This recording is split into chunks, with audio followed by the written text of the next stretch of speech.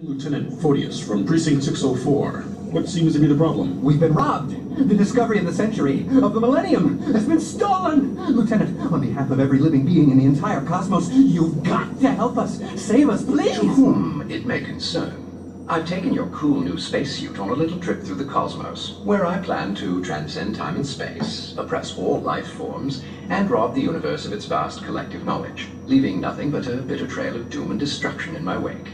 Don't wait up. Maniacally yours, Captain Xenon.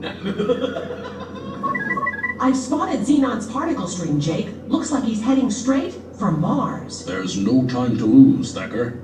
Next stop, the Red Planet. If it hadn't been for Cotton Eye Joe, I'd been married a long time ago. Where did you come from? Where did you go? Where did you come from, Cotton Eye Joe? If it hadn't been for Cotton